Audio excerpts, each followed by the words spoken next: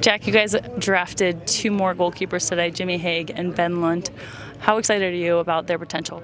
Yeah, really excited. It was always going to be goalkeepers with potential that we that we found in this draft, and, and we're really excited about both of them. They tick lots of boxes in terms of the physical profile, also being able to play with their feet, uh, good shot stoppers, goalkeepers that are able to command their box, and uh, and I'm really really excited about both of them coming in and, and working with our current two goalkeepers and improving themselves uh, over pre-season.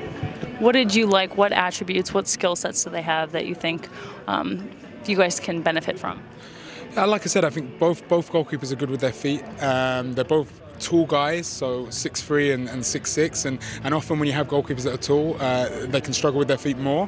Uh, but both of them are very competent with their feet, so they'll help us in terms of playing out from the back. Uh, good shot stoppers, physical, aggressive. So really, you know, we have we have quite a strong goalkeeping profile that we want to stick to. We, we like a certain type of goalkeepers, and and both of the guys that we've brought in today fit that, and, and, and we can see them coming in and having success at the club.